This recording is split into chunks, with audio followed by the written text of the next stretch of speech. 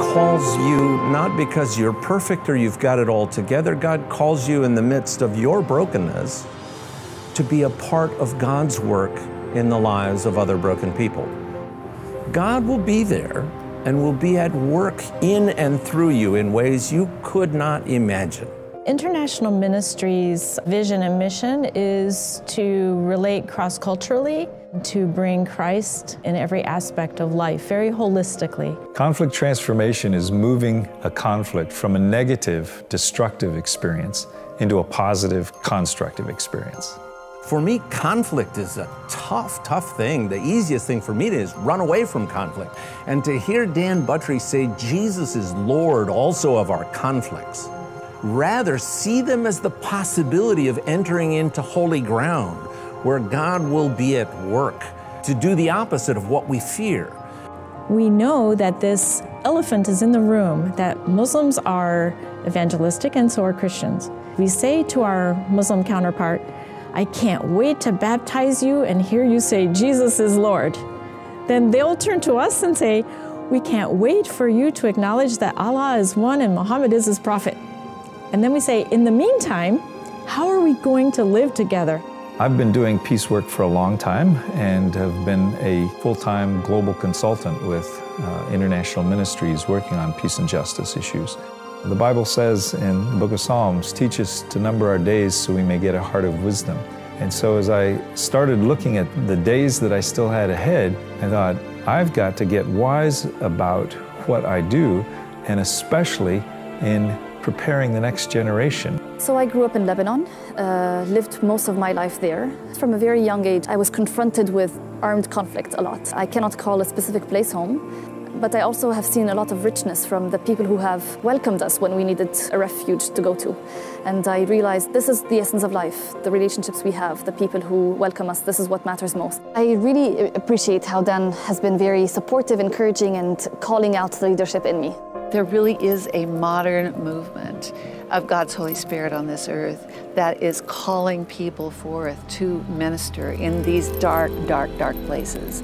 I'm not shocked by the darkness anymore. I've seen and heard so much, and it's tragic. But do I have hope? Yeah, I do. Because once light breaks into darkness, it's not dark anymore. I would like people in the church globally to begin to look at things from a kingdom perspective.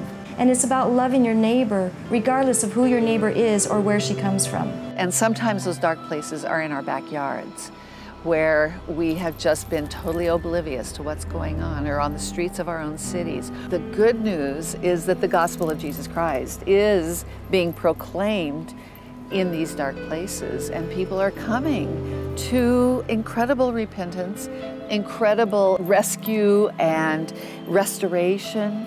God's Holy Spirit is speaking into their hearts.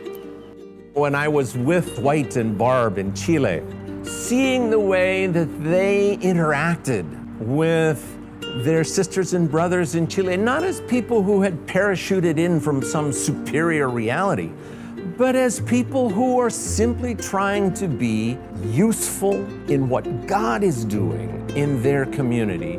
We spent the first year or two simply building relationships and, and asking what life is like here for people, the culture, the language, before we began even proposing or dreaming of certain details. What Dwight and I both sensed was a call to accompany the poor, to walk alongside the poor, to support them, and see what we could do to help them um, find the path that God had for their lives. Personalmente agradezco a Dios haberles conocido, haber conocido a Dwight, haber conocido a Bárbara, sus hijos. Son buenos amigos, no tanto en pensar que, que todo tienen que traerlo ustedes, más bien nos han enseñado que nosotros podemos también hacer. Y eso se valora, porque cuando alguien piensa en otro que se desarrolle solito, eso es valorable porque se considera la dignidad de la persona humana. Jesus' example of discipleship was life on life. It was flesh on flesh. It eventually cost him his life.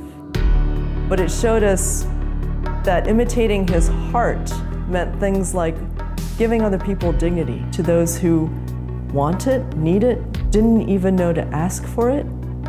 It's the work of fighting for the oppressed and insisting on God's ways of justice in places where conflict has torn communities, countries, and people groups apart. Discipleship is the way of Christ. We're like small cogs in the wheel of God's mission. All of us are asked to give in some way. Money is just a small part of it. Time, gifts, talent, prayer. World Mission Offering is International Ministry's way of bringing our entire family, the American Baptist family, together. For a long, long time, mission was something that the West did for or to the rest of the world. Now, in our church at Song Sawang, every first Sunday, we have two offering bags. We have the regular offering for the church, and then we have a mission offering. And that second bag is to support Thai missionaries who are in other countries serving. We are just the, the front edge of a wedge, if you will. Behind us is this community that sends us. And the World Mission Offering is one of the, the best ways to give in support of, of our global work. And so when you see something happening around the world uh, that, that concerns you or disturbs you, uh, many times God has people in that setting that are doing something, and IM many times has been a participant in that transformative work. And the World Mission Offering enables us to go. In the World Mission Offering, you can be seeding the good work that God is doing around the world.